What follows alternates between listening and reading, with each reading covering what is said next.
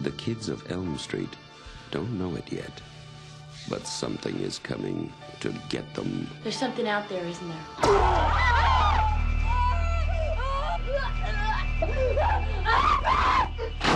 You could just see cuts happening.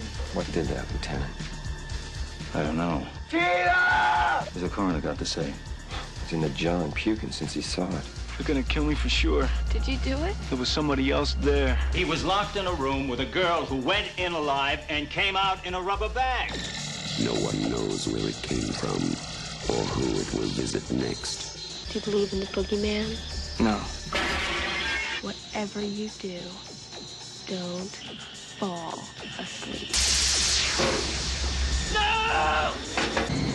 From Wes Craven, director of The Hills Have Eyes and Last House on the Left, a new masterpiece in fantasy terror. Nightmare on Elm Street.